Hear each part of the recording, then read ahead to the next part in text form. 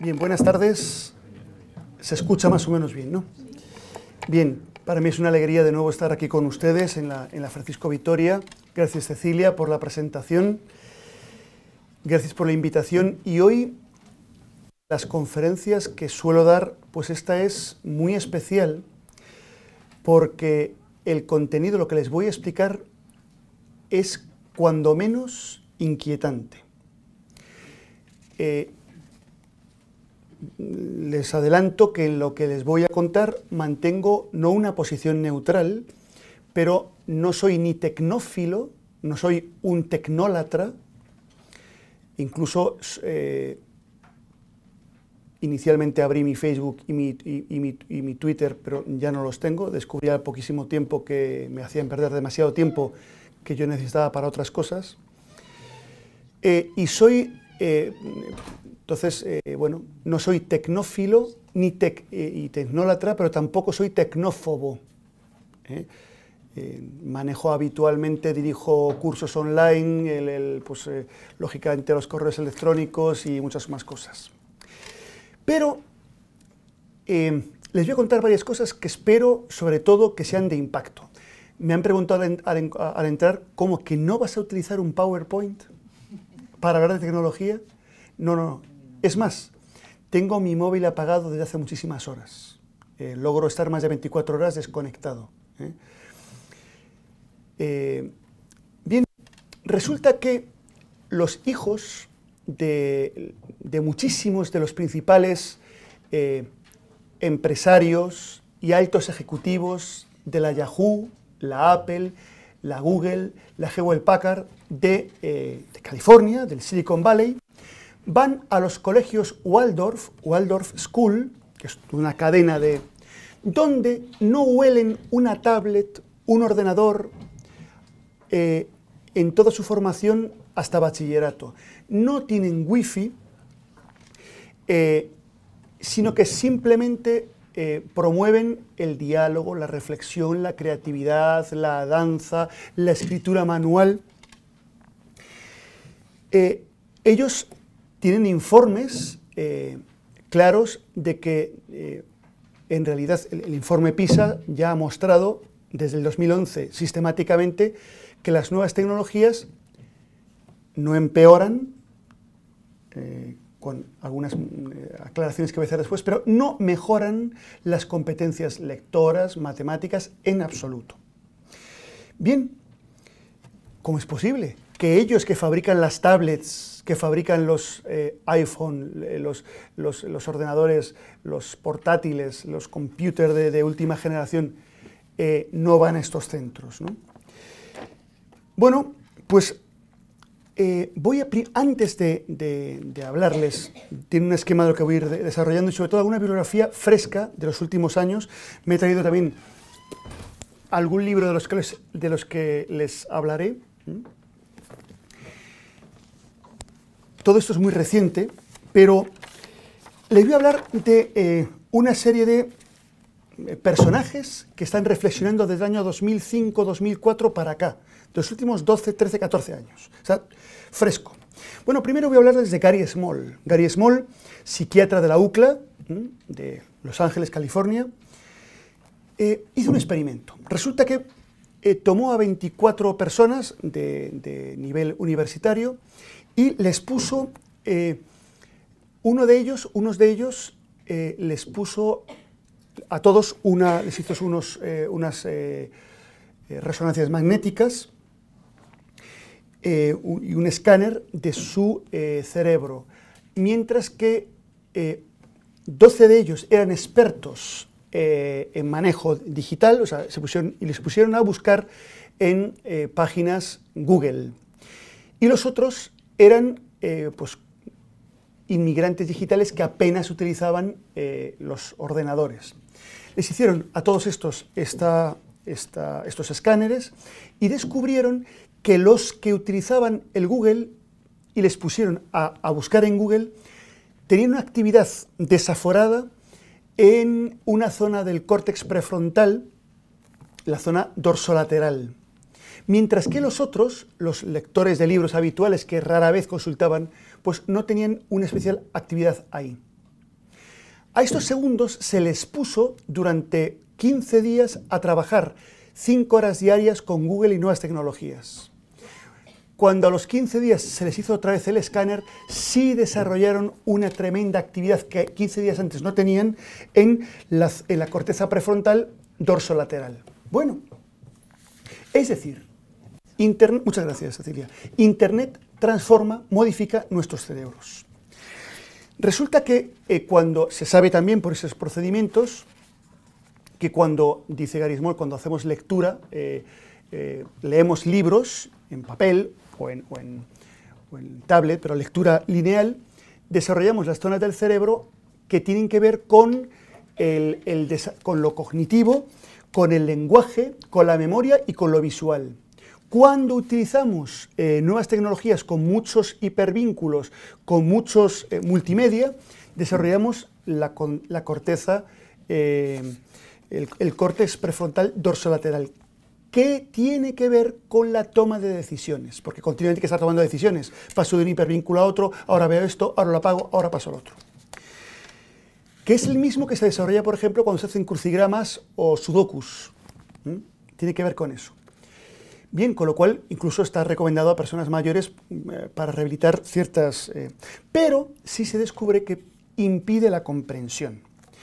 Resulta que Gary Small descubre que hay eh, que hay modificaciones anatómicas, funcionales y, eh, y, de carácter también pues, bioquímico, cuales les hablaré después, de modo que sí descubre que mientras que los, las personas que la mayor parte del tiempo de sus trabajos, de sus actividades, sobre todo lúdicas y nocio, es online, tienen, han mejorado en su capacidad de toma de decisiones rápidas, sin embargo, tienen eh, peor capacidad, por ejemplo, de asimilación. Se han hecho experimentos espectaculares. Por ejemplo, eh, se, cogió, pues, se tomaron a, yo creo que fueron 200, eh, 300 mm, estudiantes. a unos se les, propuso, se, les propuso, a todos trabajar un tema, creo que era un tema de geografía.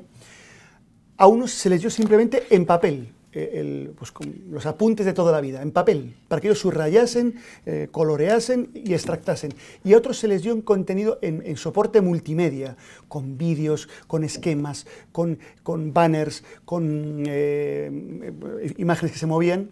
Se les hizo después un examen de contenidos. la brecha de asimilación entre unos y otros en el 100% de los casos fue al menos del 30%.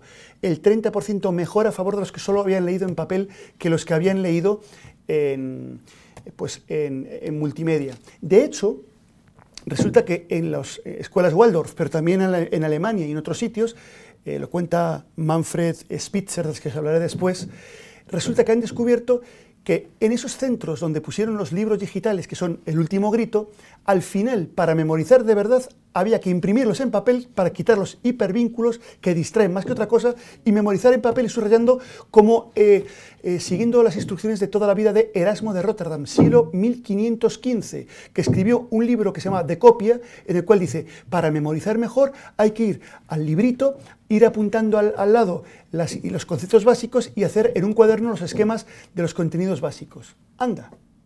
Bien. Em, Susan Greenfield, Susan Greenfield, Universidad de Oxford, dice, esta se pasa, dice, las nuevas tecnologías en la escuela son la mayor amenaza eh, para, la humanidad por encima del cambio climático. ¿Eh? aunque eso sí, eh, permite mucha información. Esta sería una de las tecnófobas. Y Marianne Wolf, amiga suya, neurocientífica, dice algo que también está muy comprobado y que luego les explicaré las razones bioquímicas incluso. Tanta información tan rápida impide la asimilación. Vamos a ver. Cuando yo leo en, tablet, pero un libro eh, lineal o en libro, eh, mi memoria a corto plazo, de la que les hablaré al final, permite asimilar eh, pues unos pocos elementos que necesito sedimentar. Es como un, el ejemplo es como si tuviésemos un dedal que lo llenemos de agua de un grifito. Entonces lo voy llenando, eso eh, me lo repito, lo relaciono con otras cosas, le presto atención, lo asocio con conocimientos previos, lo ordeno, lo repito y lo comprendo, o lo comprendo y lo repito. En ese caso, mi memoria a corto plazo eh, eh, remite a la memoria a largo plazo sus contenidos. Se sabe que tarda un tiempo. Eh, por ejemplo, cuando los boxeadores han tenido pues, a veces un de esos puñetazos tremendos y caen caos, o, un ataque epiléptico, se dan casos de, amnesia anterógrada. Es decir, se les olvida lo inmediatamente anterior durante un... Se les ha ido de la memoria lo que ha pasado en, en las últimas horas. ¿Por qué? Porque ha habido una especie de cortocircuito de la memoria a corto plazo. Luego hablaré de cómo ocurre eso. Por tanto, necesitamos un tiempo. Pero ¿qué hacen nuestros hijos o, algunos de los presentes? Que también son hijos y a, lo mejor son padres. Padres no en el sentido solo sacerdotal, sino también padres de familia. ¿no? A lo mejor está con su ordenador, que tiene varias pestañas abiertas, la del libro multimedia y la del Facebook, Instagram y Snapchat. A la vez tiene el móvil puesto sobre la mesa porque recibe continuamente novedades del Facebook y novedades de las últimas noticias a las que están escritos en el Instagram y en el Twitter y, y retuitea. Con lo cual está continuamente pasando de la página esta a la pestaña no sé cuánto, al Facebook y tal. Y esas interrupciones no son inocuas, como luego veremos. Con lo cual, claramente asimila mucho peor y sobre todo con un cansancio espectacular con un cansancio espectacular. Bien, eh, Manfred Spitzer, este libro se lo recomiendo después de los míos, lo mejor que he visto ha sido esto. Vamos a ver. No, no, ahora eh, es cierto. ¿Sabes? Perdón, era broma. Demencia Digital, un libro, bueno, eh, de divulgación, pero serio, con, mucho fundamento. Manfred Spitzer eh, médico, psicólogo, filósofo, catedrático de psiquiatría y es, eh, es el, responsable del Centro de Transferencia de Conocimientos para las Neurociencias de Aprendizaje en la Universidad de Ulm, en Alemania. O sea, bueno, tiene una, cierta relevancia académica este señor. Y nos dice que claramente los ordenadores por sí mismos no mejoran el aprendizaje. Son un instrumento más, como puede ser el libro, como puede ser eh, el audio. Pero eso sí, respecto de las redes sociales. Las redes sociales resulta, es decir, Snapchat, Facebook, Instagram, un ratito está bien. Continúa y prolonga mis relaciones personales. Pero cuando la vida social online es superior al número de horas offline, hay atrofia hipotalámica. Eh, es decir, lo cual incide en que se pierde empatía. Se pierde empatía. Yo para, para, tener empatía es el darme cuenta de qué siente el otro y qué piensa el otro. Yo les veo a ustedes, por cierto que me he traído hoy mis, iba a estrenar mis gafas bifocales hoy, iba a hacer el experimento, pero vamos a hacer el experimento. Así les veo mejor y es importante porque ver sus rostros me van dando un feedback de lo que van sintiendo mientras yo hablo. Eso es fundamental hasta cuando yo me veo con mi esposa, eh, un pequeño gesto suyo dice, no sigas José Manuel que por ahí vas mal. Y yo ya me inhibo y triunfo. Entonces, eso es leer el lenguaje no verbal. Pero si estoy en un Facebook, no veo el rostro del otro, el Instagram no veo el rostro del otro. Me gusta el seguidor, ping, tal. Con lo cual me voy acostumbrando a no reaccionar ante la presencia del otro. Es más cómodo, no me afecta, no me da problemas, pero me va dificultando las relaciones sociales. Hoy sabemos que muchas personas eh, que pasan muchas horas eh, en, redes sociales tienen, sobre todo los adolescentes, auténticos problemas de relación social. ¿eh? Lo cual es, a, la hora pues de un trabajo y, y, de una relación emocional pues es problemático. Bueno, pero después tenemos tecnófilos entusiasmados, como Reynold Kurzweil. ¿Quién es? pues este señor es el que dijo que igual que las máquinas nos han ayudado siempre para liberar, por ejemplo, eh, yo he podido venir de Orense eh, a, Madrid en, poquísimo tiempo gracias a máquinas que van, eh, en Galicia no, en Galicia van a 80 por hora, pero una vez que pasan Galicia, ya toman los 200 y pico por hora. Es maravilloso llegar a, Castilla, ¿no? O si uno va a Barcelona o a Valencia, pues van, o a Zaragoza van en un, en un PIS En, Galicia todavía tenemos las vías del siglo XIX, pero el resto de España ya eh, pues son las vías modernas. ¿no? En Galicia te permite ver el paisaje, lo cual tiene su ventaja porque es muy bonito. Entonces, dice Kurzweil, pues del mismo modo que las máquinas nos han ayudado, el coche también nos ayuda eh, el Google, ya no hace falta memorizar, lo tengo en Google todo. Es, lo tengo en la memoria. ¿eh? Bueno, es un amplificador de nuestra memoria. ¡Qué maravilla! Esto lo saben todos los alumnos. Eh, la espasa o la larus. No sabemos dónde meterlas, porque ahora ya... un momento, ¿Dónde está, dónde está Orense de Argentina? Hay un Orense en Argentina, debajo de Buenos Aires. Son 2.000 momento ahora mismo, Orense, Argentina. Aquí están mis fotografías, eh, se dedica, eh, zona de playa, qué bonito. ¿eh? No hace falta ya la memoria, está todo en Google. Con lo cual, no tengo por qué memorizar tanto. Pasó como los móviles. Yo cuando era joven, y ustedes también, los que, éramos, los que nacimos antes de, la, pues, antes de los 70, 60 o antes 50, no sabíamos listados enteros de los teléfonos de mis padres, de mis amigos. Hoy ni el mío. Espérate que lo consulto en el móvil. Oye María, ¿qué número tengo? ¿Qué número sé? ¿Mm? No, lo, usamos, no hace falta. Lo cual Sócrates, el filósofo, dijo que estaba muy preocupado. Decía, es que eh, Sócrates, siglo V antes de Cristo, comenzó la escritura. Y dice, que si dejamos de memorizar todo y pasa aquí, vamos a dejar de aprender. Resulta que la lectura de papel, resulta que mejora la memoria. No fue el problema. Pero este curso ahí dice que ya no hace falta memorizar nada, está todo en Google. Bien, vamos a ver. Yo tenía una abuela materna que era pianista, era aragonesa, pianista, profesora de piano en Zaragoza y concertista. Era, le encantaba Schumann y Chopin, sobre todo Chopin. Y tuvo un ictus eh, y una hemiplegia a raíz del ictus. Se quedó paralítica de todo el lado derecho. Le hicieron en fisioterapia, eh, fisioterapia y estiramientos y, terapia física, pero claro, la manita se le quedó así y el pie también. Entonces, bueno, pues, se pudo valer. Y, ya dijeron, y le dijeron, después de seis meses, usted ya no mejora. Después de seis meses. Ella buscó sus libros de piano de primero de piano y empezó a hacer do, mi, re, fa, mi, sol, do, mi, re, fa, mi, sol, do, mi, re, fa. Todos los días, con una torpedad absoluta. Resulta que al año y pico volví a tocar los conciertos de Chopin perfectamente bien. Es decir, cuando se obligó con atención, con deseo, a aprender rutinas en las que emplease otra vez las partes más atrofiadas. De hecho, la pierna no la utilizó, no, pero la, mano sí. Volvió a dar conciertos, volvió, a tocar Chopin. ¿eh? Aquello nos impresionó a toda la familia. Bueno, es que el cerebro es puramente plástico. La plasticidad del cerebro, que, la, que, John Eccles eh, escribió aquel famoso libro ya hace años 70, El yo y su cerebro. Nuestro cerebro lo conformamos nosotros en parte, en parte.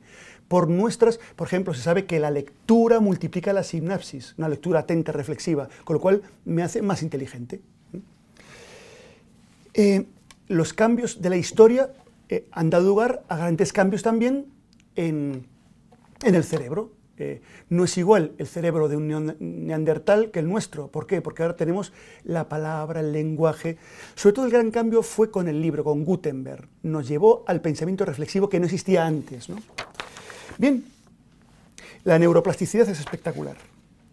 Pero esto da lugar a que efectivamente ahora con toda la revolución eh, informática, pues ha habido cambios y está habiendo cambios con una velocidad inusitadas. Vamos a ver. Small, Gary Small y Borgan, en un libro que se llama El cerebro digital, ahora ya voy a darles datos concretos, cuáles son los cambios neuronales de los años 90 para acá o, 2000 para acá, dice, eh, primero, sin duda, eh, Internet, los ordenadores han mejorado la capacidad de informarnos. De hecho, nuestros hijos, yo soy de los años 60, pues mis hijos y los de los que, tengan ahora 20, 30 años, son capaces de encontrar información hasta seis veces más rápido que nosotros. Escanean, nosotros leemos, eh, bueno, eh, luego, les explico eso, una velocidad tremenda, pero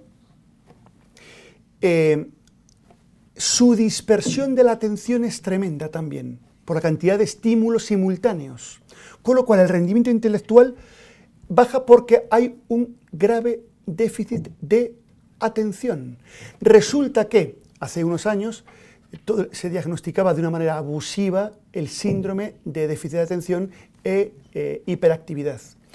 Hoy sabemos que esa déficit de atención A está producido por déficit de atención de los padres a los hijos. Un niño que no ha atendido en casa busca, reclama atención y por eso están... Entonces, muchísimos casos eran eso, simplemente. Claro que existe el síndrome. Y en otros casos está producido por el uso masivo de las nuevas tecnologías. Y lo van a entender eh, primero gráficamente y después ya se lo explicaré por otras vías. Pero fíjense ustedes, ¿a qué velocidad van los juegos en la Play? O los juegos. O estoy viendo una cosa y me mandan de repente una noticia, la consulto, y mando cuatro WhatsApps, y de repente consulto la pestaña en el Facebook, y de repente me vuelven, me vuelven a reclamar, porque además hace ruidito para llamarte la atención, pim, pim, pim, pim, y automáticamente, obedientemente, vamos a ver quién nos ha mandado, qué noticia o qué, o qué WhatsApp nos ha mandado, o qué noticia de las que estoy, 800.000 que estoy inscrito, o qué nuevas, eh, eh, y, de, ahí paso a otra cosa. Con lo cual, eh, y a una velocidad de vértigo, cuando vuelvo a la vida offline, pasa lento. Por eso los niños es que en clase se aburren, porque va todo muy lento. Es que la lectura les aburre, se les cae a la segunda página, joder, más de dos páginas hay que... Es que me aburre, no puedo con ella porque va lento, va lento. Bueno, ustedes lo han visto, si, vamos a ver ahora las películas de los años 70, ET, eh, e Kramer contra Kramer, ¿se acuerdan de esas películas? Son lentísimas. Joder, es que no pasa nada en toda la película. Y ahora, pam, pam, pam, pam. En un minuto ha habido cuatro asesinatos, dos raptos, eh, dos matrimonios, cuatro separaciones que van a estar proporción. Es espectacular. ¿eh? Dos nacimientos y siete muertes. Joder, ¿Y cuánto tiempo de película? Tres minutos. Necesitamos. Nos han acostumbrado a un régimen vertiginoso. Nos han drogado de, velocidad. Cuando volvemos a la vida normal, todo va lento. Bien. Eh, Sherry Tarkel, otra profesora del Tecnológico de Massachusetts, mm, en Reclaiming Conversation, dice que las nuevas tecnologías, también lo explica muy bien en este libro que les también me voy a, permitir recomendarles, los nativos digitales no existen. Dice, no, no, no, estos jóvenes de los años 90, 2000, no son nativos digitales, son huérfanos digitales, porque les hemos dado el aparato y no les hemos dicho cómo utilizarlo responsablemente. La moto sí, hasta los 18 no puede sacar ese carné. Niño, en, semáforo, en rojo se espera uno que ponga el muñequito en verde. Esto se hace así.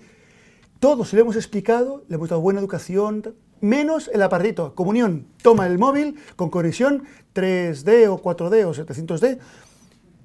Son huérfanos digitales, no nativos digitales.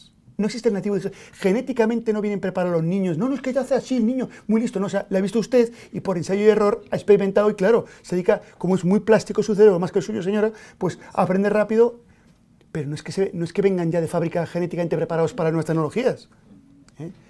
Es más, tú le sacas del Snapchat, del WhatsApp, del, de las, del Face App, que te pone de viejecito, de jovencito, de, las, de la última aplicación absolutamente inútil que tienen para, mm, y, de las útiles, y de, y, de la, y de cómo se busca, de bajar vídeos y de, y de descargarse tal, ni uno programa, ni uno, no, es, no es fácil que uno tenga su propio, algunos sí son, los, son makers, pero los millennials al uso son, usan pero no producen. Son usuarios o abusuarios, pero no son creativos solo es de nuestras generaciones que estamos creando aparatos y creando usos y haciendo barbaridades otros. Los nativos digitales no existen. Eh, de gusto, es de muchos autores, pero está pegando mucho este librito. Es muy sencillo, pero eh, les va a dar unas descargas eléctricas espectaculares. ¿eh? Em, dice, nos impide el aburrimiento, con lo cual, si no hay aburrimiento, no hay creatividad, dice Serri Tarkel. Hoy no se da uno, va uno en el metro en Madrid, algunos locos vamos leyendo o mirando a la gente, y el resto van todos...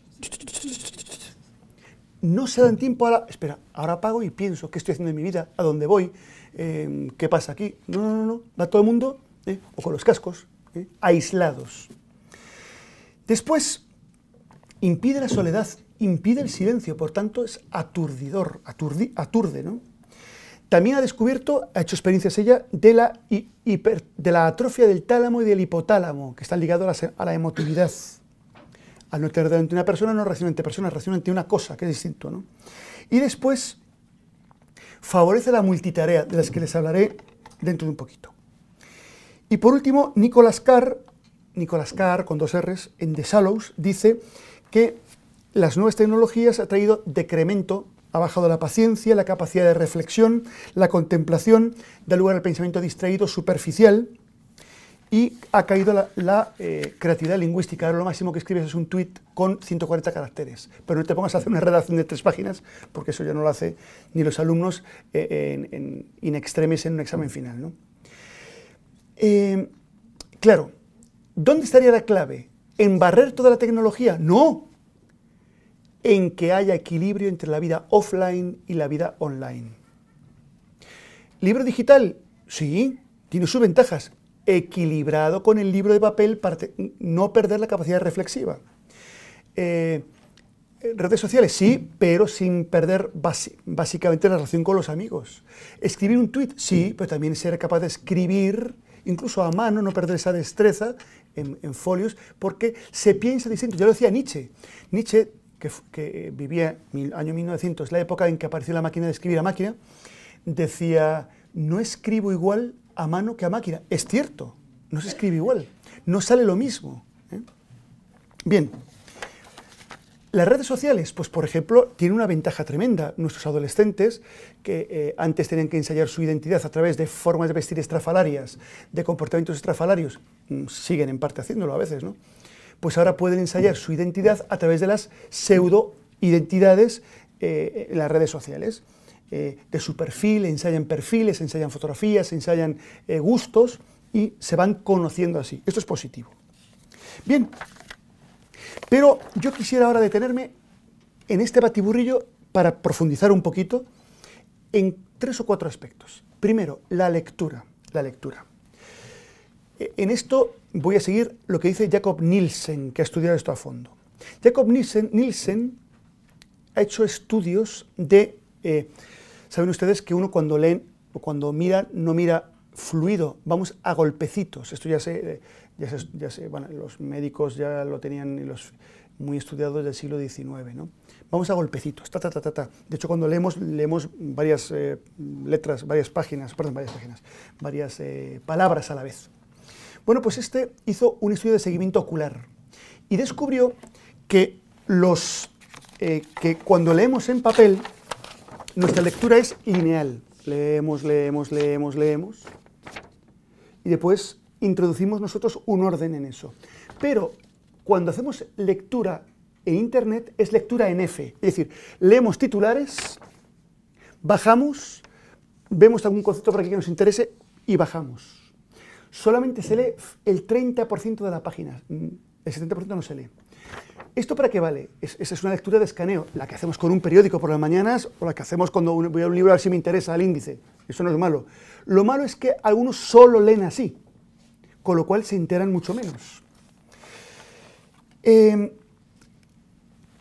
ventaja, descubres información rápidamente. Ya les decía que los, ahora mismo, eh, jóvenes entre 12 y 20 años, eh, tienen una capacidad unas seis veces superiores a los llamados inmigrantes digitales a la hora de buscar información, pero pierden capacidad de concentración masiva. Hoy es muy... ¿Les habrá pasado a ustedes como a mí, cuando hemos empezado a leer también eh, por ordenador, que nos cuesta un poquito más leer el libro de papel? O mucho más. Pero es que nosotros no nacimos con ordenadores, algunos de nosotros los primeros aquellos Sinclair, el 246, que iban lentos y que no entraba nada. ¿eh? La empresa israelí ClickTail hizo un estudio con un millón de usuarios y descubrió que en las páginas web el tiempo que se pasan consultando una página web está entre los 19 y los 26 segundos, 27 segundos. ¿Qué hacemos? Hipervínculo, cambio de página, otra cosa. Lean un periódico en papel y léanlo digital. ¿Qué hacen digital? Pues empiezan por la noticia que buscaban, que ha sido de Pedro Sánchez. A ver, Pedro Sánchez, ¿cómo va la cosa? Tal. y abajo pone, Teresa Campos ya, Teresa Campos ya sale del hospital, pin, Teresa Campos, tal. Y abajo, Tereluo, en la, eso cuánto, eh, sálvame de Luxe, a ver qué pasa, y termino viendo a, Leonardo DiCaprio eh, eh, en bañador en la playa en California, y ya, y, de repente, ¿quiere usted, mm, tiene usted una almohadilla cervical? Hombre, pues ahora que lo dices, a ver, almohadilla cervical. Pero tú no estabas buscando lo de Pedro Sánchez. ¡Ay, sí! ¿Y qué ha puesto? Yo qué sé. Pasa eso. ¿Esto qué nos da? Nos informamos de mil cosas, pero perdemos la capacidad de pensamiento reflexivo profundo. Pero vamos a ver, es que no es compatible, dirán ustedes, leer en tablet y en libro digital y en, y en papel. Sí es compatible. Y algunos lo hacemos. Los nacidos antes de estas tecnologías. Eh, hacemos lectura de escaneo y hacemos lectura de estudio. Pero que se pueda hacer no significa que necesariamente se haga. ¿Por qué? Miren ustedes, el cerebro es el gran desconocido. Hace poco hice un, cursito de, médicos sobre de neurología y, con gente que sabía mucho. Y lo que me contaron es que prácticamente no saben nada. Dicen, bueno, vengo con los que más saben y me dicen que no saben nada, pues que sabrán los demás. Ahora todo el mundo, ahora todo es neuro, neurobiología, neuro, neuroeducación. Bueno, es lo de antes, pero meten hablan un poquito de la sinapsis y de, lo, de cómo se haciendo ahora. Esto es una neuroconferencia y tú eres un neuroembaucador, ¿no? Bueno, pero sí es cierto que nuestro cerebro, fíjense ustedes, es una parte pequeñita del cuerpo, pero consume más del 20% de energía. Y por eso busca el menor gasto posible. Y por eso busca lo más, el, procedimiento más sencillo. Es maravilloso. De modo que si hay algo, un procedimiento más sencillo, no va a buscar el más complicado. Digo, hablando en términos puramente mecánicos. Eh, claro, todos sabemos que cuesta mucho más esfuerzo leer el libro de papel que leer eh, en, pues el, mensajito eh, pues en, el, en el leer aquí. Cuesta menos es mucho más ágil, mucho más gráfico. Eh, por tanto, eh, si no invito, si no fuerzo un poco a, esta lectura en papel, eh, no se va a acometer. ¿Por qué? Porque a uno, al conocer la otra, que es mucho más sencilla, no le apetece. Es lo mismo que el cuerpo con los años tiende al menor gasto posible de energía. Ponerse a caminar ahora a partir de los 50, no sé si ustedes lo hacen habitualmente, pero vamos a, si no, si tengo que ir a caminar, pues qué madre, ponerme ahora, me da una pereza, vengo de trabajar y ahora salir, ¿eh? cuesta, pero sin embargo es muy agradecido el cuerpo cuando eh, uno camina habitualmente, hace un poquito de deporte, es muy agradecido el cuerpo, ¿no? Pero cuesta. Del mismo modo, leer en papel cuesta, pero sin embargo el cerebro lo agradece. Bien. Eh, de modo que, mm, en realidad, hay que obligar al cerebro a esforzarse un poquito para que, sin dejar de utilizar las nuevas tecnologías, que son muy buenas, que bien que tenga una tablet para, por alumno en un colegio, pero promocionando al, al menos al mismo nivel la lectura reflexiva y comprensiva, que es lo que ha permitido el desarrollo cultural de Occidente. Bien, ahora les voy a hablar de la multitarea, la multitask. Texto de referencia de Jackson, eh, eh, Maggie Jackson, Distracted, distracted el, cerebro distraído. ¿no? Bueno, resulta que, dice la gente, no, no, es que las nuevas tecnologías te permiten la multitarea. Estás mm, viendo la tele, mandando mensajes, o sea, comentando qué ha pasado con el partido, viendo, eh, viendo también el Facebook. Resulta que lo que se produce es una alternancia continuada de la atención. Es decir, lo que se produce es que salto de una tarea a otra, de una a otra, de una a otra en pocos segundos. Sin embargo, el cerebro no lo hace automáticamente. La multitarea realmente no existe. Solo existe multitarea cuando una de las funciones es mecánica, por ejemplo, conducir o caminar. Yo puedo caminar y hablar contigo, pero no puedo hablar contigo y atender un discurso. los traductores no sé cómo lo hacen. Eh, no puedo hacer dos tareas, una mecánica, conducir, montar en bicicleta, y pensar o hablar, sí puedo pero eh, ponerme, estudiar y tener música con letra en castellano que, yo entiendo, no se puede. Porque yo sí puedo. No, tú lo que haces es pasar de una a otra continuamente. con una fatiga cerebral extraordinaria y por tanto con un bajo rendimiento académico extraordinario. Llevo cuatro horas, pero es que, que me cuesta mucho, es que no me entero, hombre, claro. El cerebro se toma su tiempo porque las reglas, si yo estoy ahora hablándoles a ustedes, si de repente paro un momentín para consultar eh, el, Google, pues el Messenger o el... automáticamente paso tengo, el cerebro se toma unos, mm, un segundo, unos mil, un tiempecito en hacerse con la nueva tarea. Pero si estoy continuamente pasando, tengo el, el, móvil encendido al lado del libro de estudio y la pantalla, eh, y debajo de la pantalla tengo lo del libro digital y debajo tengo el Facebook y el Instagram que estoy mandando y me mandan. Y voy pasando de una a otra. Pues el cerebro, cada vez que hacemos un cambio, tiene que pasar, cambiar de modo. Ahora modo WhatsApp, ahora modo estudio, ahora modo. Y eso produce una fatiga espectacular del texto. ¿eh? Con lo cual hay disminución de atención, disminución de memoria, la memoria baja espectacularmente, hasta un 30% menos, y aumenta la ansiedad. Se hizo muy famoso aquel experimento de un mono, eh, era el mono de un, de un empresario eh, suizo o sueco, ya sé que no son lo mismo, pero los confundo, que se reía mucho del mono, porque le mandaba un plátano y el mono lo agarraba con una mano, le lanzaba otro plátano, lo agarraba con otra, otro plátano, lo agarraba con una patita, otro plátano con otra patita, otro plátano con la boca, y cuando lanzaba el sexto plátano, el mono quería agarrarlo, pero no quería soltar los que tenía, se volvía loco, le pegaba un ataque de ansiedad, se descomponía. Eso es exactamente lo que nos pasa. Estoy tranquilamente escribiendo, pero de repente me llaman por teléfono, me mandan un WhatsApp, me, reclaman por 20 sitios a la vez. Los correos electrónicos. Hay gente que, que empieza a consultarlo cada media hora a ver si entra un correo nuevo. ¿Y no tienes problemas de ansiedad? Pues prepárate, pues estás a punto de tenerlos. Vamos a ver. Eh, eso no está mal consultar correos, pero fíjense ustedes que existe la nomofobia, el miedo a salir sin mi móvil. ¿Que me dejado el móvil? O peor, que voy con mi móvil o me quedo sin batería. Miren, ya he dado varios cursos sobre nuevas tecnologías y a jóvenes, jóvenes o adolescentes. Y cuando doy un curso de un día entero, les hago una propuesta. Por favor, todos sus móviles apagados en esa esquina, lo recogen al final del día. Algunos los dejan, otros, solo de pensarlo, comienzan a ponerse nerviosos y a sudar. Tienen auténticos ataques de ansiedad.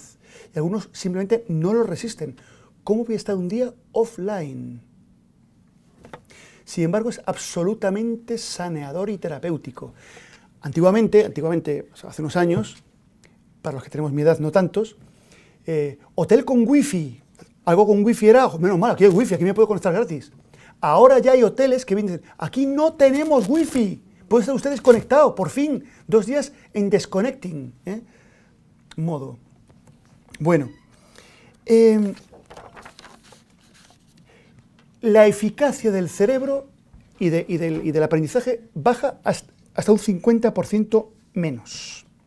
Se ha hecho, por ejemplo, eh, muchos estudios, esto se ha replicado en muchas universidades, eh, el, dar a unos documentos con hipertextos y otros sin hipertextos. Los de los hipertextos bajan de 2 a 3 puntos las respuestas. Se produce junto a esto otro fenómeno que es el de la sobrecarga cognitiva. Sobrecarga cognitiva. Vamos a ver, cuando estamos en escaneo, en modo escaneo, voy a, ver la información y paso de una página a otra, que no está mal en principio, trabajo con la memoria de trabajo se llama memoria a corto plazo, donde solo se me quedan unos segundos. Es la memoria que cuando me dicen un teléfono, ¿y cuál es tu teléfono? Pues el 91573 24 24 13. Ah, un momento que la apunto. Entonces me va quedando 983, pero como de repente mi hijo me diga, oye papá, ¿me, has podido corregir lo que te pasé por el móvil? ay no, se me ha olvidado. Dime el número. Porque solo se quedan unos elementos un tiempo. Pero si voy pasando de página en página una hora, dos horas y solo dedico esos 19, 20 segundos por página, no se me queda nada. No se me queda nada. ¿Por qué se nos quedan mucho mejor las noticias cuando las leemos que cuando las vemos en televisión? Y las de televisión, se sabe, por ejemplo, que se quedan mucho mejor las que son solo la imagen de televisión que las que ponen imagen de televisión, eh, otra pantalla, banner pasando. Entonces uno va del banner a la noticia, noticia no sé cuánto, y yo no te cuento nada si zapeamos no nos enteramos prácticamente de nada.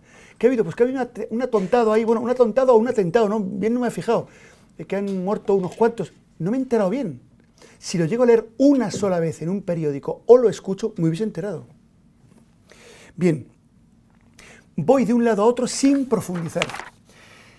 Eh, claro, psicológicamente el multimedia, cuanto más elementos, mejor, más, más atractivo es, pero también es más distractivo. Con lo cual baja la comprensión y el aprendizaje. Eh, por tanto, conclusión, la mucha información no es conocimiento. Vivimos en la época de la información, sí, pero no del conocimiento. La información nos llega a raudales, masivamente, pero no el conocimiento. Conocer, ya lo decía Kant, bueno, ya lo decía Aristóteles, pero Kant es más moderno, es someter la información a esquemas, a categorías. Si no hago ese proceso, si solo me llega la información, me resbala, no se me ha quedado nada. Por eso, señores y señoras, ladies and gentlemen, no es igual la memoria Google que la memoria biológica. Es muy bonito la metáfora, es aparentemente científica. Claro, la memoria es como la memoria de un disco duro. No, señores. La memoria nuestra, luego si me da tiempo se lo explico un poquito más, la memoria nuestra es una memoria que recrea, que depende de nuestra atención, que se establece a través de asociaciones con contenidos previos, eso no lo hace el, el aparato, como no lo asocias tú, se ordena interiormente, o los ordeno yo, de modo que se van conectando los conocimientos, de modo que lo que estamos haciendo nosotros es una elaboración de la información. Eso es el aprendizaje y el conocimiento. Lo otro son menos inputs, datos, que informes. La memoria humana no es un receptáculo, no es una, un white paper donde voy escribiendo sin más, no es una tabla de cera donde pongo la huella. Es un receptáculo activo que va dando forma a lo que recibo. De modo que voy estructurando. Por eso, si no tengo conceptos ni palabras, no tengo elementos para establecer relaciones entre palabras llamados razonamientos. El problema de nuestros jóvenes es que al memorizar menos palabras, menos conceptos y hacerlo sin estructuras, tienen más dificultades para el razonamiento largo. Por eso hoy, qué bien lo saben algunos, ¿cuál es un partido político que pueda triunfar? El que no da muchos razonamientos, el que da eslóganes. Eso, eh, no voy a entrar en España, pero sí lo voy a decir en Estados Unidos. Obama lo vio muy claro, yes, we can. Podemos, nosotros podemos. Alguno creo que lo ha imitado por aquí. ¿eh? Podemos. ¿Qué pueden?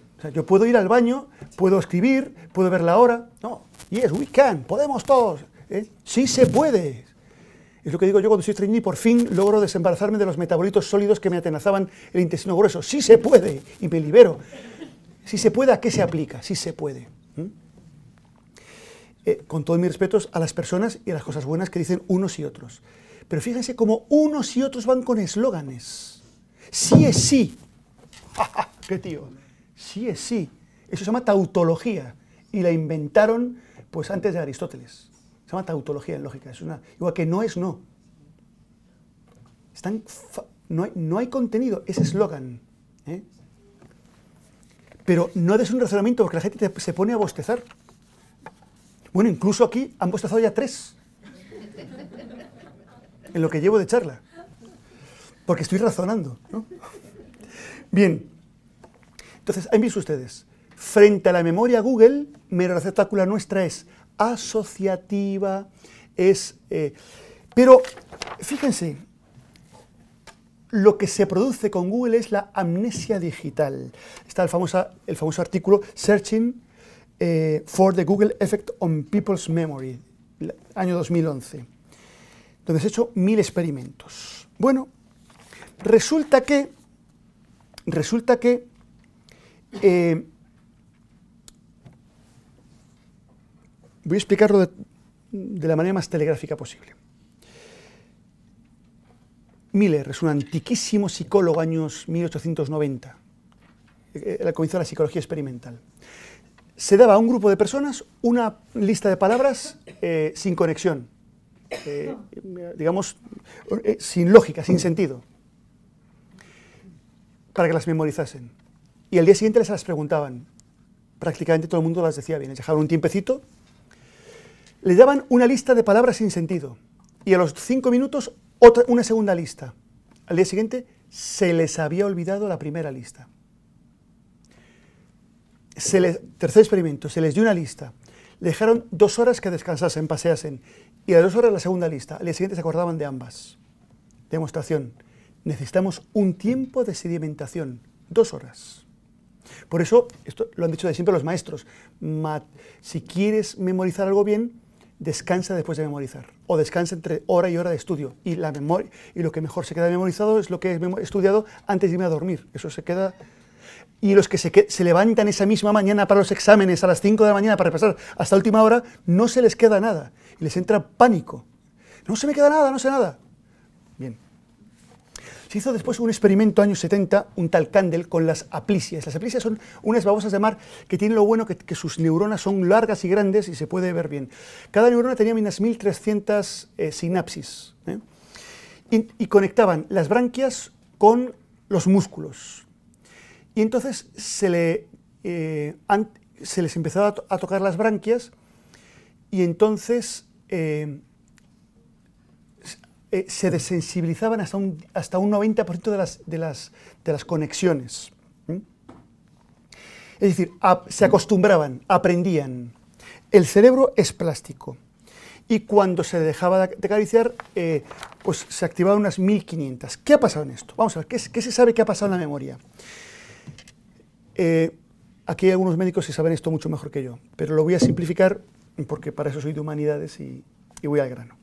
Vamos a ver, saben ustedes que las conexiones entre neuronas, que es lo que establecemos cuando aprendemos, las sinapsis, eh, no son conexiones físicas, hay espacios sinápticos y hay eh, neurotransmisores, por ejemplo, el glutamato. Bien. Después hay se pueden llamar interneuronas, otras células, que cuando yo presto atención a algo porque me interesa mucho y lo asocio a otras cosas y lo repito, entonces se activa la los, eh, los agonistas, las células agonistas de la serotonina, emitimos serotonina, la cual a su vez hace que, bueno, por un proceso más largo, que la quinasa A, que es una enzima, se active y que produzca más glutamato. Con lo cual, cuando yo un contenido le presto mucha atención, me impacta y lo repaso y lo asocio a contenidos previos, produzco más serotonina, más quinasa y más eh, glutamato, con lo cual esas sinasis se refuerzan.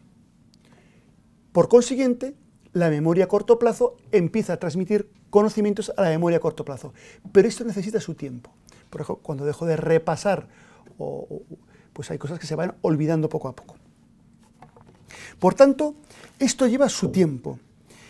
Eh, y entonces, por tanto, asimilar conceptos y producir esquemas llevan su tiempo. El cerebro no es mero almacén, necesita conectar unos... Eso siempre se estudió en, pues, cómo mejorar la memoria. Conecta unos conocimientos con otros. Ah, hoy sabemos que es lo que incide es en multiplicar las sinapsis, las conexiones interneuronales. Si después las repaso, las eh, eh, establezco una mayor capacidad de recuperación, pero no de inputs sueltos, sino de esquemas, porque nadie, porque conocer es aplicar conceptos a experiencias y esquemas a conceptos. O sea, conocer es ampliar los esquemas por los cuales voy interpretando la realidad. Yo ahora no veo simplemente verdes, veo olmos, o veo Quercus robur, o Quercus ilex, que son todos Quercus, pero sé que tienen diferencias, ¿eh? y, ahí veo, pues, eh, tal hierbecilla, que no, no, no, es, no es hierba, es una, eh, pues, yo sé, un crisantemo, ah, y empiezo a saber que es de tal familia, de las asteráceas, y empiezo a entender el mundo vegetal, gracias a conceptos. Doctor, doctor, estoy fatal estornudo, me duele aquí, eh, estoy flojo, me duelen los codos. no, tienes gripe. Ah, me ha dado un concepto y ya me ha tranquilizado. Y así que te, tres días de cama, haceme por fin. ¿eh? Tres días de cama y agüita y a descansar. Ah, perfecto. Cuando me ha dado el concepto, he entendido lo que me pasa. Bien, pero eso necesita tiempo, necesita tiempo. Y el problema es que las nuevas tecnologías, si se usan masivamente, lo que produce es una ausencia de tiempo para la sedimentación, para la producción de serotonina y de glutamato, con lo cual baja los niveles de memoria y atención salvajemente. Bien. Y termino. Tres cosillas. Por tanto, hay que diferenciar eh, entre el uso, el mal uso, el abuso y la adicción, si es que existen las nuevas tecnologías, que puede... El uso es absolutamente bueno y necesario. La humanidad ha llegado a esta capacidad tecnológica y es fabulosa. La utilizamos todos continuamente. Ahí no hay ningún problema. El problema viene con el número de horas. Vamos a ver. Ponemos normas en casa para todo. Oye, después de comer se recoge, o después de pequeñitos, después de comer te lavas los dientes. Hay normas. Pero hemos hecho una excepción. Hemos dado el móvil al niño y no le hemos dado normas. no, no, es que a cama no te vas con el móvil, es que se apaga. Es que son unas horas. Al revés, ordenador en la habitación. Bueno, a lo mejor en un momento de trabajo está bien, pero el acceso y no les hemos ayudado a trabajar eso. Y esto da lugar a un número de horas salvaje. Hay gente que está conectada permanentemente y, y, esperando continuamente el input, que le llegue el mensajito. ¿En cuántas conferencias? Yo doy conferencias todas las semanas, varias. Qué complicado es ver una sola sala donde algunos no consulten varias veces, algunos tendrán que consultar, digo yo, pero varias veces, las últimas, yo estaba, pero en congresos de filosofía, entre colegas míos, los de la primera fila, en vez de escuchar mi ponencia, que no será muy buena, pero es la mía, no solo ya toman los apuntes en ordenador, me he dado cuenta que algunos de vez en cuando consultan algo más, que no son los apuntes, sino que tienen el móvil encendido y de vez en cuando mandan y reciben. Pero ¿cómo se puede seguir una hora de clase así? ¿Qué atención habrán prestado? ¿Es bueno tener medios? Sí. ¿Tener una moto o un coche de buena cilindrada es bueno? Sí, porque me lleva a los sitios. Lo malo es cuando el coche me tiene a mí. Ya no controlo el coche, no controlo la moto. Tener eh, unos aparatos que puedo utilizar de modo creativo para decir a mi esposa que ahora está ahora a, a 500 kilómetros, te quiero cuando salga de aquí, pues sí, pues es, un, buen uso. O diseñar un programa eh, para, eh, ahora por ejemplo yo estoy diseñando una plataforma online para enseñar acompañamiento de familias ¿no? para, para Latinoamérica. Y para mí es todo un reto cómo hacer eso. Estoy creando algo nuevo, es muy práctico. Lo malo es cuando la persona se ve engullida por el instrumento, no lo puede soltar, nomofobia. Eh, se queda bajo la lógica del anonimato, siempre está disponible para lo que quieran hacer de él continuamente, incluso a mitad de noche. ¿eh? ¿Te he despertado? WhatsApp. Pues sí, toma. ¿eh? Esa fiebre por estar a la última continuamente en noticias, en situaciones. Es que si, si lo apago, mm, dejo de estar, dejo, dejo, de mandar WhatsApps. Eso es simplemente abusos, ¿no? Abuso. El ser incapaz de una vida offline. Después ya no digamos en los malos usos. Claro, siempre ha habido acoso escolar, pero el ciberbullying es terrible, ¿no? Siempre ha habido falsas identidades, pero ahora se suplanta la identidad con las nuevas tecnologías. Eh, eh, a mí me han publicado libros míos que yo he escrito aquí, apuntes míos, me los han publicado en México, ¿eh? lo, han conseguido por internet y me han publicado en México. Y cuando ido a México, dice, va, esto me suena, sí, pero a, título de otros. se pueden hacer diabluras con las nuevas tecnologías. ¿no? Y después, desde el año 2002, y esto es discutible, pero en todo caso, en Proyecto Hombre, por ejemplo, se habla ya de las adicciones a las nuevas tecnologías. ¿Por qué? Se producen los mismos pérdida de control. Yo ahora mismo en mi centro de orientación familiar, pues eh, al menos 30 familias vienen con el problema de que sus hijos, y también a veces los padres, eh, no tienen control de los impulsos, no son capaces de sentarse a comer sin sacar el móvil. Están comiendo y venga, móvil. Oiga, si estoy contigo, estoy contigo, María José, y no estoy mandando WhatsApps a, a, Pepito, y cuando estoy con Pepito, estoy con Pepito, y no me dedico a mandar WhatsApps a ti. Nunca estoy con el que estoy. Para un reto que tenemos toda la familia, nos llegamos a mandar WhatsApps o a consultar the weather eh, en, en, en, en, la Baja California. Sí, para ver cómo está mi amigo Pepe, pero hombre. Em, pérdida de control, búsqueda de placer, eh, su ausencia provoca síndrome de abstinencia que se me acaba la batería, que no hay wifi, ¿dónde recargo? La gente dice con angustia en algunos casos. No son capaces de pasar un día sin, sin móvil. Después, en muchos casos hay aislamiento social. Bien, se discute, atención, y se lo voy a decir claramente, eh, ya termino con esto, eh, unos dicen, eh, ¿es adicción a Internet y eso produce efectos nocivos en la personalidad o es al revés? Hay ambas hipótesis y se las voy a contar ambas. Kimberly Young, Proyecto Hombre en España, Enrique Cheburúa, grandes psicólogos, dicen, no, no, no, hay una ansia impulsiva, cada vez están más tiempo, más horas, todo el día, llegan a casa, ya se conectan, pero no tienes un reto para estar conmigo.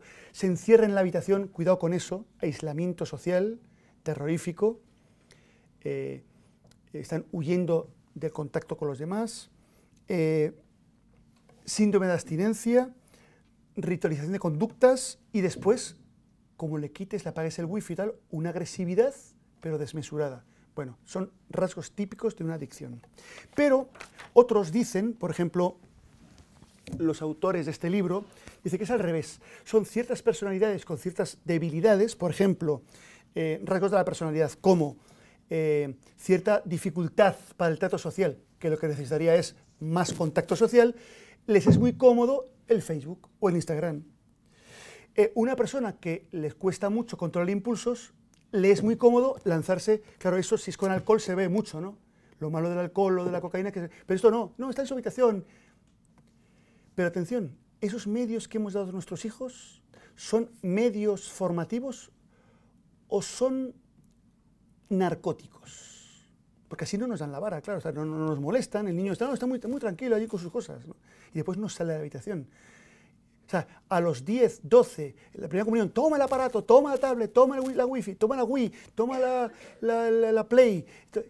Y después a los 18 es que no sale de la habitación, es que ha bajado el rendimiento académico, es que no se relaciona con nadie. Hombre, y son de, aquellos lodos, estos, de aquellos polvos estos lodos, ¿no?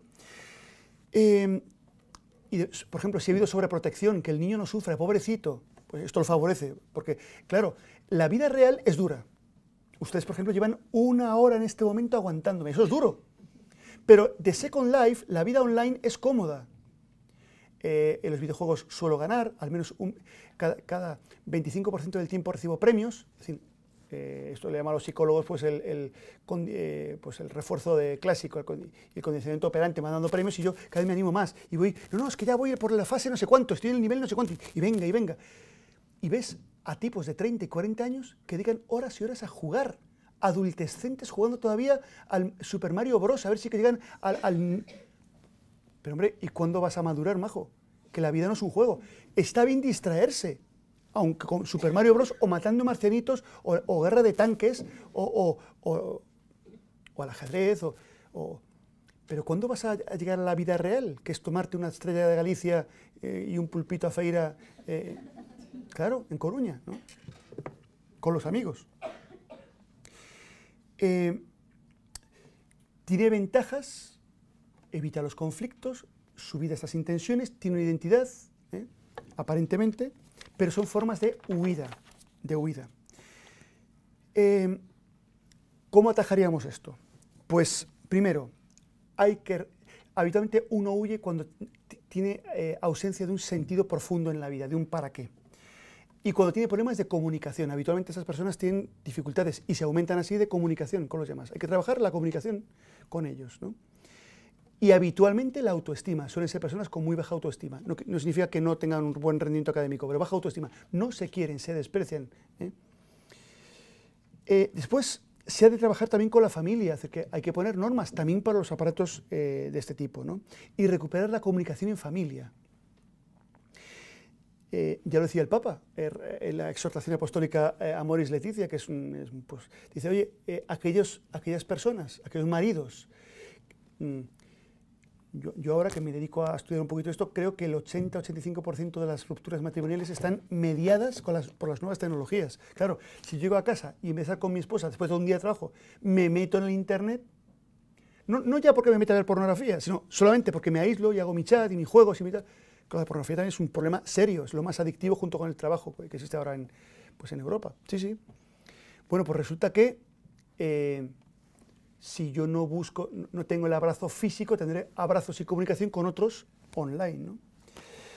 Recuperar el encuentro, recuperar la amistad, el tiempo de encuentro con las personas es esencial. Promoción de actividades físicas. Es que nuestros niños son cada vez más sedentarios. No, yo ya juego a, hago excursiones aquí. Fíjese, ahora ya me pongo las gafitas esas y ya veo todo en 3D y ya me voy a... Pues a lo mejor es mejor salir a Peñalara eh, eh, en 3D, eh, cuesta más subirse a Lavantos, pero uno se queda como un rey y cuando baja al Escorial se toma un vinito y una tapa de champiñones y vuelve feliz para Madrid. ¿no? Aprender a gestionar el tiempo libre.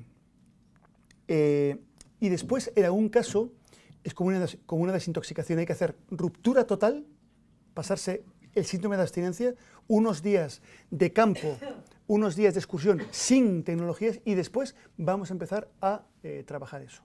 ¿eh? A trabajar el uso responsable de las nuevas tecnologías. Y nada más, ya pasado muchísimo tiempo. Así que hasta aquí mi alocución y si tienen alguna pregunta, pues, y si la sé contestar, pues de mil amores. Gracias.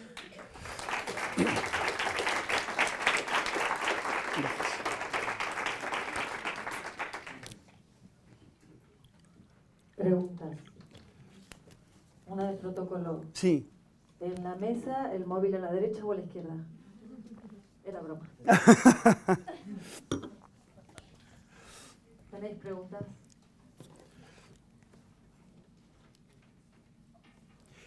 Por cierto, a esto estamos aprendiendo todos.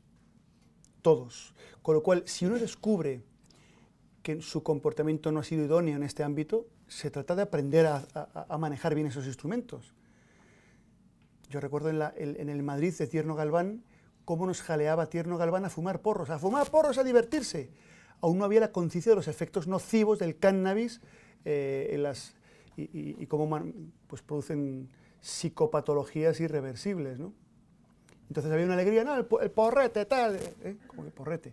Pues hoy, hasta ahora, ha habido una tremenda alegría en, en el uso de esos aparatos hoy empezamos a saber eh, efectos secundarios. Entonces, esto es bueno para regularlos, no para eliminarlos. O sea, no, tenemos que ser amish. Eh, pues a mi casa ni un aparato. No, pero a lo mejor pasarse un fin de semana sin aparatos puede ser sanísimo. ¿Mm? Bien, preguntas, preguntas.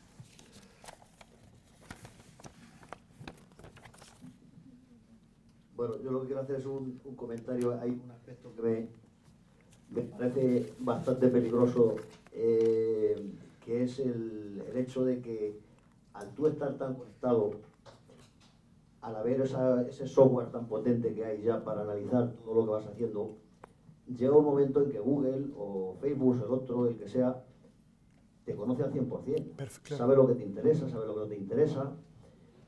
Entonces yo estoy convencido que ya, eh, por ejemplo, las elecciones americanas, las últimas, ha habido más manipulación en este aspecto, que en sitios claves, no sé cómo en sitios claves, pues han mandado una serie de mensajes a gente que estaba entre votar a uno, votar a otro, tal cual, esa información se la han vendido a un candidato y han, de alguna manera han tocado puntos claves y han llevado el, agua a, a, su terreno, ¿vale?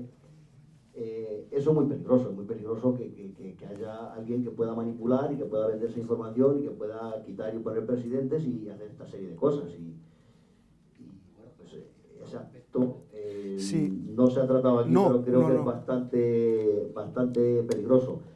Y esto va más, porque tú ahora la puedes engañar un poco a la máquina, pero en el momento que tú tengas una pulsera, que esto estamos a punto de tenerla todos, con la excusa de que va a ser muy bueno para tu salud, que te va, eso te va monitorizando de alguna manera, te va previniendo enfermedades y tal, tú no le vas a engañar a la máquina. Eh, tú vas a estar mirando eh, una pantalla de Pedro Sánchez o del otro, el del que sea, y el aparato va a saber si estás, de verdad te está interesando aquello y en qué sentido te está interesando. Con lo cual, mm, vamos a ser mucho más manipulables, pero no de aquí a 20 años, de aquí a ya. No, ya, ya. De aquí a allá somos manipulables y somos una especie de, pues no sé, pues de terminales tontos de todo este sistema de inteligencia artificial. Sí, sí, usted ha dado el clavo de un tema, vamos a ver, son los Big Data, que hoy es el comercio que mueve la captación de esos datos que estamos emitiendo continuamente es masivo. Vamos a ver, en todos sus móviles, a no ser que hayan desconectado, eh, está, eh, va emitiendo la señal de por dónde han pasado, la, posición. con lo, cual saben qué sitios ha visitado, qué sitios le interesan. Después, eh, ustedes, si miran toda la información que hay en cualquiera de sus fotografías digitales, todos aquellos que hayan subido una fotografía suya a Instagram, están dando una cantidad de datos personales extraordinarios. De modo que eso no es que ya se está comerciando con eso. De hecho, los, los, partidos políticos ya tienen, muchos de ellos, eh, personas especializadas, psicólogos, en dar mensajes especializados para cada franja de edad lo que quieren escuchar. En Podemos se hace. ¿eh? De modo que queda a cada uno lo que quiere escuchar, de modo que, con lo cual, efectivamente, el problema de esto es que eh, nos hace mucho más débiles y mucho más manipulables. Por eso, bueno, yo no sé si cuando ustedes han abierto el Facebook o el Twitter se han tomado el tiempo que lleva de leer todo lo que han firmado cuando han dicho acepto que me dicen, acepto para que me den... ¿Cómo tienen derecho absoluto sobre nuestras informaciones, imágenes, teléfonos, archivos? Completamente. Tienen acceso a esos, esos datos. ¿eh? De hecho, de vez en cuando nos sorprenden. ¿Quiere usted ser amigo de no sé cuánto? Pero sí, yo, ¿y cómo saben que es mi amigo ese? Y me ha llegado por el Google Plus. ¿Pero cómo saben que es amigo mío? Sí, pues saben cuál es mi agenda. Con lo cual, el problema es que hemos perdido la intimidad y encima les damos carnaza. Eh, porque uno puede no dar ningún dato. Puede, como he hecho yo, apagar mi geolocalización. No saben dónde estoy, porque, porque tienen que saber dónde estoy yo en cada momento. Porque lo saben. Pues no me da la gana. ¿eh? Y si quiero que, en todo caso, que lo sepa mi esposa, por si me pasa algo de tal, que me, que me recojan, pero ya está, ¿no? Pero, eh, por ejemplo, a la hora de dar datos en mi perfil, no pongo ni uno.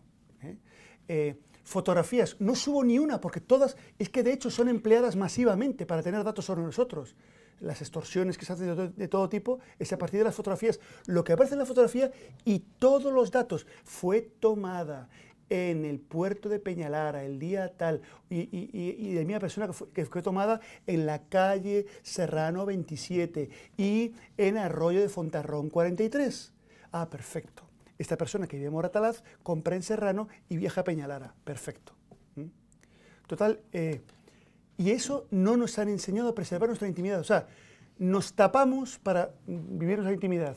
Eh, y ahí estamos al descubierto absoluto, ¿no? Y se comercia masivamente con nuestros datos. Sí. Bueno, pues es un poco al hilo de lo que estás diciendo. Bueno, eh, no es voluntario el hecho de dar un dato o poner una foto, porque si yo eh, cojo el vídeo que se está grabando de aquí, lo hice el otro día, digo, eh, de otra conferencia tuya y la cuelgo en mi Facebook diciendo, mirad qué interesante, además mi marido y yo salimos ahí. Sí. Eh, no estoy dando un dato mío, estoy dando datos tuyos, pero estás tú ahí etiquetado, otra gente que salía por ahí y que no ha subido esa foto. no somos ni siquiera libres de la información que se está aportando al sistema. ¿no? sí eh, seguramente ninguno ha recibido la notificación de Facebook de alguien ha colgado una foto en la que sales. Sin embargo, es un delito poner la foto de alguien sin su permiso. para, para, esta grabación me han pedido permiso, eh, me han pedido permiso, con todas las de la ley. Eh, registrarlo todo, notificarlo todo, por lo tanto, todo el mundo está indefenso a eso, ¿no? al no ser, al no ser algo que nosotros alimentamos y que por otro lado eh, somos víctimas incluso de las cámaras que hay en la calle, al final yo creo, reflexiono que lo único que nos queda para ser un poco más libres ¿no? es saber qué es lo que está pasando en nuestro cerebro. Esto que has comentado, ¿no? Esa bioquímica que se está produciendo y que no es voluntaria, que se me está produciendo porque me impactan cosas me produce unos síntomas que es importante que yo sepa reconocer como producto de esto. Porque mucha gente se cree enferma de cosas o no sabe justificar cosas que les ocurren en su conducta, en sus relaciones, y muchas veces no es nada más que bioquímica de todo esto. Bueno, sí, somos mucho, más, sí, somos mucho más que bioquímica. La bioquímica es eh, el soporte de muchas operaciones nuestras, pero Vamos a ver, yo lo que ah, simplemente les invitaba a, y me invitaba a mí, a salir de la ingenuidad. Miren lo que son deberes administrativos eh, reglamentados en España. pedir autorización a los padres para el tratamiento de datos de los hijos, pedir autorización a los padres para participación en actividades públicas, no proporcionar datos de la familia a terceros. un menor, mira que dan datos, pero no podrían dar datos de la familia. No difundir fotos sin permiso de los que... O sea, yo no puedo ir a una discoteca, sacar una foto de uno y meterle yo porque me da la gana. No puedo hacerlo sin su permiso. Vamos a ver, eh, en las escuelas eh, piden permiso para todo, para sacar a los niños a una excursión, para si les hago una foto, permiso para todos. Yo ahora he, grabado un, bueno, he dirigido un, he grabado un cortometraje eh, para una actividad, pues en todos los menores, uno por uno, petición a los padres y para qué fines. Aquí me han pedido permiso para, para grabarme. Eh, y pues evidentemente se subirá a algún sitio y tal. Pero después, la cantidad de, por ejemplo, no delitos penales, descubrir secretos de otros sin su consentimiento. Yo no puedo contar con secretos de otra persona. No revelar secretos, eh, no imputar otros delitos falsamente. Anda, no, no, injuriar. Una injuria en un WhatsApp, en un Twitter, tiene el mismo grado penal que una injuria pública eh, en un foro público. Si yo digo aquí una barbaridad de don Daniel Sada, públicamente es un delito. Pero si lo digo en Twitter desde mi casa, es el mismo delito. Gravísimo. Em, no piratear obras ajenas. Eh, bueno, pues entonces, la cosa es no ser ingenuos para saber que si yo quiero, yo desde el momento en que voy a dar una, vengo a un acto público, pues mm, permito, y además permito que se, que se, haga publicidad de esto. Pero en mi vida privada yo no quiero. No, quiero porque, porque tienen que saber. Eh, y sin embargo, mucha gente sabe de mí a través de información que mis hijos en algún momento han mandado por Facebook o por Instagram. Ah, te vi el otro día que me mandaron, un, retuitear una foto. Pues bueno, yo haciendo el ganso en una boda. Aquí me ven muy serio, más o menos, aunque ya saben que no soy tanto, pero en las bodas me desmeleno de la familia y suelo hacer alguna bromita, alguna gansada. Si me captan una foto en eso, está bien, para la familia. Y si un desaprensivo la lanza por ahí, mira, el doctor Domínguez, y me pone a mí haciendo el ganso así, pues a lo mejor han ido contra mi fama, ya es un delito. Sí, yo no doy permiso para hacer eso. A mi familia me gusta hacerle reír, pero al mundo también, pero de otra manera. ¿no? Entonces, simplemente les cuento esto para salir de la ingenuidad.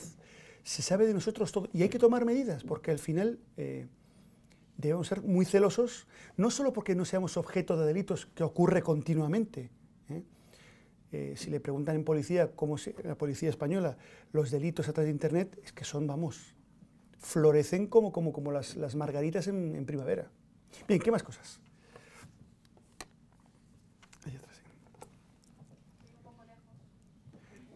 Bueno, más lejos está Alfa Centauro. Bueno, yo en primer lugar quería agradecerte que nos hayas ilustrado de esta manera, ¿no? Comparto bastante todo lo que dices y eh, al estudiar psicología yo me preocupo mucho por los niños y en, concreto ahora pues por mis sobrinos que los tengo muy cerca y, me preocupa mucho, ¿no? Eh, porque según hablabas he identificado perfectamente este síndrome de abstinencia de repente irritabilidad cuando se lo quitamos, esa agresividad, ¿no? Y ese aislamiento social, o sea, yo tengo sobrinos que de repente comen y se quieren ir a su cuarto eso y es, cierras la puerta y les dejes tranquilos. Cuando yo todo lo contrario he vivido en, en, una, en, un ambiente familiar que comía con mi familia y nos quedábamos ahí de charla y eso realmente yo creo que, es, que aporta mucho, ¿no? Entonces, eh, aparte de la coordinación de los, de los padres, de cómo gestionar esto, que es cierto que creo que hemos dado instrumentos, bueno, yo como madre no, pero sí como tía, quizá hemos dado instrumentos a niños que no les hemos enseñado cómo utilizarlo, ¿no? Eso es. Pero de cara a los colegios, eh, también considero eh, que no ha habido un análisis del impacto que iba a crear en los niños, darles a tan tempranas edades Perfecto, sí, sí. esas herramientas, ¿no? Porque ahora es cuando estamos viendo que un niño de 5, 6 años ya o 7 están haciendo deberes en las tablets, ¿no? Entonces luego llegan a casa y que los padres lo prohíben, pero en el cole sí. ¿Cómo gestionar eso? ¿no? A unos sí, a otros no.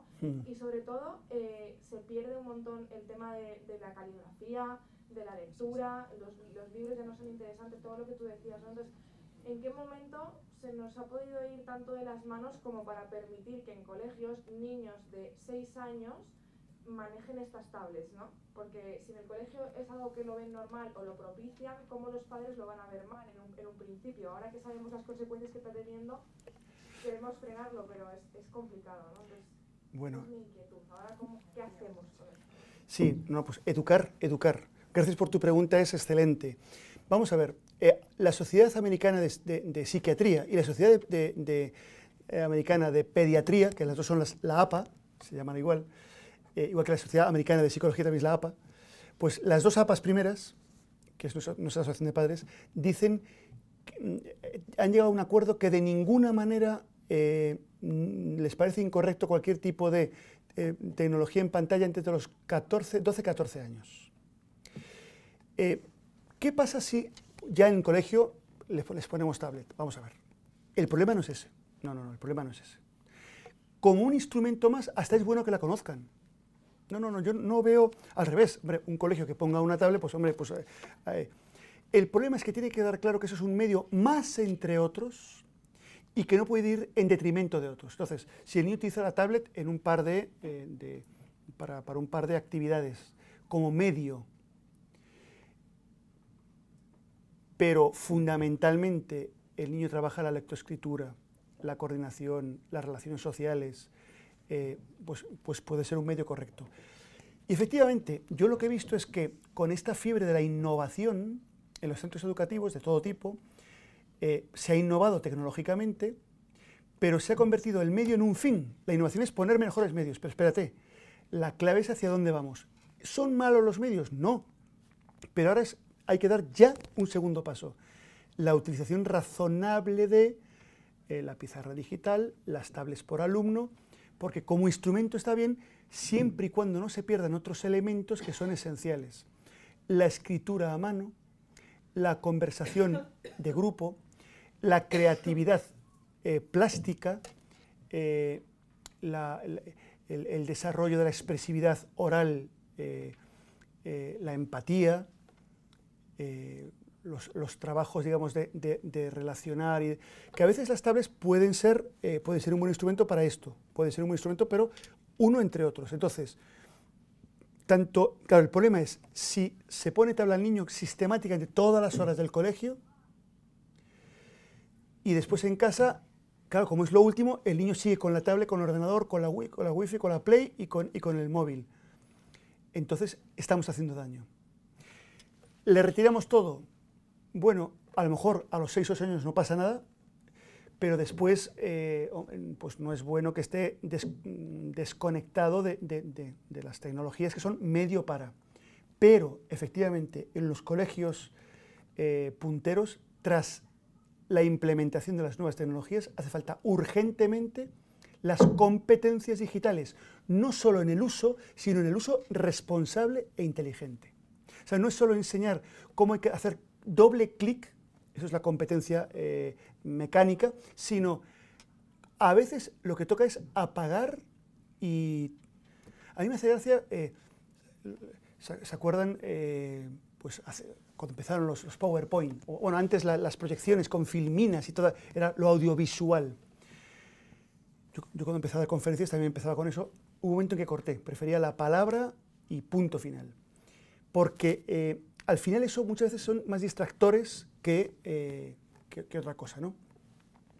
Pero resulta que hay un momento en que descubres que esos, esos medios eh, utilizados masivamente entorpecen otros elementos importantes, con lo cual la clave está, y, voy al comienzo, en aprender a equilibrar la vida online y la vida offline en no solo enseñar a utilizar, sino enseñar a utilizar responsablemente y como medio para, no como fin. ¿Mm? Por ejemplo, eh, ¿qué es ahora puntero en el mundo educativo? Más puntero que las tablets. Cursos de enseñar a pensar, enseñar a razonar. Una persona, es lo que se llama la, inteligencia fría. Hoy les hemos enseñado la inteligencia caliente. Lo quieres, lo tienes. Lo buscas, ahí lo tienes eh, ¿qué tal? Eh, ¿Dónde está, eh, cuál es el, eh, cómo está compuesto la glutamina, la L-glutamina? Ya está, ¿para qué sirve? Ya está, ahí está. Lo quiero, lo, quiero, lo tengo. Pero la inteligencia, digamos, fría, la inteligencia racional, es la que me permite deliberar, esperar, discernir, comprender, optar por hacer, por no hacer, es perder la inmediatez. Todos saben eh, aquel eh, famosísimo experimento de la golosina tipo nube, que no me acuerdo cómo se llama en inglés. Era, se le puso una nube a los niños eh, y, a, varios niños en un platito le dijeron, si quieres tomarte la nube, llama inmediatamente al monitor y te la comes. Viene y te la comes. Si esperas a que venga el monitor, que tardará más, entonces te comerás dos. Unos niños se la comieron ya sin, llamar al monitor. Otros llamaron rápidamente que venga, venga, que me la quiero comer. Y otros con diversas estrategias de dilación del éxito subieron a esperar. Después hizo un seguimiento eh, eh, pues, longitudinal de, estas, de, estas, de estos niños. Eso, es de los años 70, este, este experimento. Y se descubrió que los niños que fueron capaces de dilatar la consecución inmediata del premio, decir, que subieron a esperar por el éxito, que encajaron el fracaso y, el retrasar el impulso, son los que tuvieron más, más éxito personal, profesional, emocional.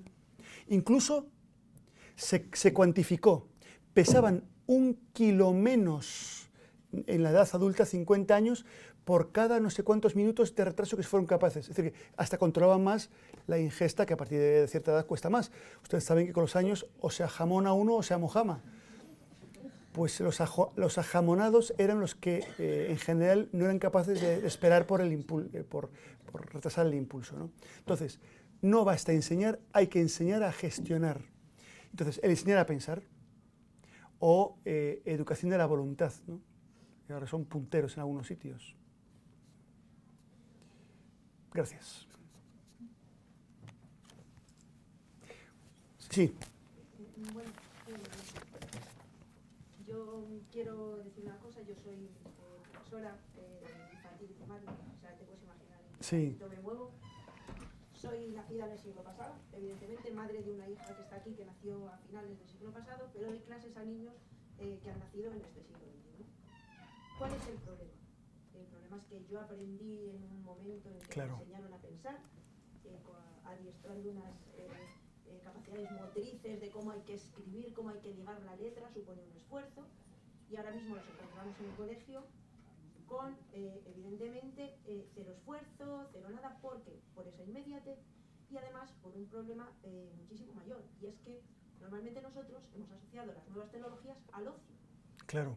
Y los niños las siguen asociando al ocio. Es decir, eh, aparte, nosotros nos comunicamos con los, con los padres por las nuevas tecnologías, por un dojo, por un... Eh, los niños vienen al colegio y les hemos mandado deberes online, online, pero su premio es jugar después. Entonces, ¿qué ocurre? Estamos hablando de gamificación. Entonces ahora los profes tenemos que ir a la, a la escuela eh, a ganar puntos, a hacerles ganar puntos. ¿Qué ocurre? Que al final, para ellos la vida es un juego. O sea, vienen al colegio y entonces, ¿qué tenemos que hacer? Abrir el libro hay que leer esto. Vamos a, la sala de informática. ¿Pero qué vamos a ver? ¿Qué vamos a hacer? No leen nada. Propones cualquier trabajo, cualquier cosa, no leen absolutamente Claro, claro, claro. Y los 50 trabajos son exactamente iguales. No quitan ni los hipervínculos, es que les da igual. Claro. Y además, encima es que no lo saben hacer. Profe, ¿cómo grabo esto? Pues vamos a ver. O sea, si yo no lo sé, ni les, ni les sorprende ya nada. Ni les interesa, ni les sorprende nada. Entonces, claro, llega un momento que dices, o sea, yo vengo aquí, soy una friki, sea, porque lo que tengo que hacer es contarte 500 historias, hacer 500 cosas para darte un premio, que te ganes un punto, y al final resulta que ¿cómo valoro yo eso? ¿Qué vamos a hacer después? Pero espérate, si no hemos terminado esto, si te estás aburriendo ya. O sea, me refiero, si es que no me dejas acabar, profe, ¿para qué es la hoja? Pero me lo quieres dejar decir. Claro, claro. Y lo mejor de todo es que hablamos de eh, acosos, o sea, hoy mismo he pasado un test de la comunidad, eh, de la Universidad de Castilla-La Mancha, del ciberbullying que nos ha llegado al colegio para que lo pasemos, nadie se siente agredido y nadie se siente agresor y estamos todo el día resolviendo conflictos. Entonces dices, o sea, no me entero de nada. Sí, sí, sí, me quiero morir. ¿Cuál es lo mejor que me ha pasado? Un niño de segundo de primaria, el otro día, seis años, suena el timbre, cuatro y media de la tarde y se pone a llorar y dice su compañero, profe, Antonio está llorando. Cariño, ¿qué te pasa? Es que no me quiero ir a casa. quiero quedarme aquí a aprender. Es más friki que yo. O sea, vamos a hacerle a este niño un monumento. Se, le ha pasado algo y dice, no, es que, me dice el compañero, está castigado. Antonio está castigado. ¿Y por qué estás castigado, cariño? Porque le he roto el móvil a mi madre este fin de semana. ¿Qué es lo que yo pienso? ¿Te la ha dejado para jugar? Normal. Y dice, no, porque se pasa el día enganchada al móvil y no me saca al parque. Apaga y vámonos. Media muestra y mira, ganas de llorar. Sí, sí, sí, sí. Automáticamente. Claro, ese niño todavía no está como los mayores jugando al Clash Royale todo el día y lo único que le importa es en qué arena está y cuántos premios gana. O sea, porque es que ya, yo ya me sé cómo se juega y me dicen, profe, ¿tú juegas? Y digo que no. Es que ni lo sé, lo sé de oídos. Es que lo sé de oídos. Sí, sí, sí. Entonces, ¿cuál es el problema? Las nuevas tecnologías para ellos están asociadas al ocio, que es para lo que nosotros se lo hemos dado. El ratito que tenían para divertirse, se, los hemos, se lo hemos dado para eso. Con lo cual, buscar información, uno de cien. Y una criatura que todavía no lo asocia a eso, se da cuenta que pierde horas de diversión y horas de salir al parque porque su madre está con el móvil. Automáticamente, ¿qué le ocurre? Lo coge y lo tira y lo rompe. Y la madre, en vez de pensar, ¿qué estoy haciendo? Lo castiga. Qué tremendo, sí, se sí, acabó. O sea, entonces es muy difícil. O sea, la verdad es que nosotros que nos encontramos con los más pequeños, pero bueno, cuando ya vienen aquí son adictos. O sea, ya es un. O sea, son más mayores, saben o no gestionarse, pero son adultos. O, intentan serlo. Pero claro, o sea, nosotros tenemos la peor parte. Sí, eh, pues tienes razón. El otro día eh, estaba, estaba en, un, en, una, en un parque, un parque sí, es una, una, zona de Orense, una plaza, que son todo veladores de cafeterías. Bueno, eh, y yo estaba esperando a mi esposa ahí, nos íbamos a ir a misa a continuación, me puse a contar, eh, antiguamente, hace 10 años, los niños, mientras que los papás tomaban algo, los niños jugaban por allí y corrían. Bueno, pues si habría 50 niños, yo creo que cuarenta y tantos estaban, pero de 6, 7 años, sentaditos toda la hora, tiqui, tiqui, tiqui, sin moverse. Llamé eh, a mi esposa, oye, baja, que, quiero que veas esto. Es, un espectáculo único, o sea, es tremendo. Niños, pues ahí estuvieron, la mamá también. Claro, porque efectivamente, hoy se calcula eh, los que hablan de adicciones hablan de un 15% de la población. Adicciones en el mismo sentido que hablamos de adicciones a la cocaína, ¿eh? con el mismo tipo de, de, alteración cerebral. Pero no es los jóvenes, son los padres en la misma proporción que los jóvenes. ¿eh? ¿Qué podemos dar los profesores y los padres que no puede dar Internet? Que eso estaba en la conferencia y se lo he contado. Primero, mostrarles lo asombroso de la, realidad offline, lo asombroso de una puesta de sol, de una nube, de lo bonito, o sea, sentirse el tacto, el olfato, o sea, cerrar los ojos y oler mm, pues la, albahaca, ¿no? Que se admiren, que no dan, porque en Internet todo se da por supuesto así, aquí está el, la, estructura de, una base o, de, o del ADN, aquí está, todo, todo es obvio. Entonces, mostrarles lo admirable que es la realidad, lo bello, lo verdadero, lo bueno, mostrarles y entusiasmarme yo, aunque, aunque, hagamos un poco de teatro, que los profesores lo, lo, tenemos que hacer. Segundo, otra cosa que no hace Internet y que podemos hacer los profesores y los padres, y que es lo que ha hecho avanzar la propia ciencia, la pregunta, preguntarles. Copérnico, ¿cómo hizo avanzar la astronomía? Porque se dijo, oye, ¿y si es la Tierra la que gira alrededor del Sol? Porque se pensaba que es, el, Sol el que se mueve. Dice, ¿y si es la Tierra? Cuando Einstein dio la vuelta a la tortilla, dice, ¿y si el tiempo y el espacio son relativos al sistema de referencia? Riemann, ¿y si el espacio es curvo? Y lo era. ¿Eh? Cuando personas se preguntan, yo mismo, cuando, cuando pregunto a un joven, pero ¿a qué estás llamado tú en la vida? ¿Cómo? ¿Cómo que llamado? ¿Sí? ¿Tú qué pintas en la vida? ¿O realmente tú a quién amas? Bueno, al Madrid, eh, ¿cómo que pero a, mi madre, claro, y... ¿Pero quién amo de qué? ¿Tú en qué esperas? ¿Tú en qué crees? ¿Cómo que en qué creo? Pues, eh, no sé, creo... No saben qué creen. Entonces, una buena pregunta. Internet da respuestas, no hace preguntas.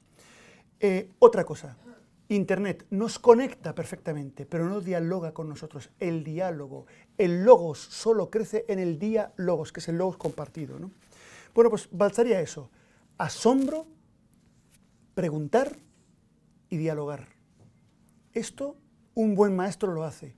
Entonces, hasta el día en que las nuevas tecnologías vuelvan el agua a su cauce y estén en su sitio, que no son malas, pero el maestro, el gran maestro, los maestros de toda la vida, o los buenos psicólogos, pueden compensarlo a través de, por ejemplo, eh, informar a los padres online, sí, pero donde uno se juega las habichuelas como profesor es en el encuentro personal con los padres en la tutoría. ¿eh? Y ahí les hablas a los padres y les preguntas a los padres y ahí se dan cuenta que son padres sobreprotectores que han dejado al niño hacer lo que... Ay, pues entonces vamos a ver qué podemos hacer. ¿Qué piensan ustedes que pueden hacer? Pues a ver si el niño a lo mejor va a tener que cortar un poquito, pues no llevarse el móvil a la habitación a, dormir. Pues oye, qué buena idea. Y tú, tú ya le refuerzas, ¿no? Pero que lo digan ellos. Bien, pues esas tres cosas yo creo. ¿eh? Bueno, es tardísimo. Gracias. Muchas gracias.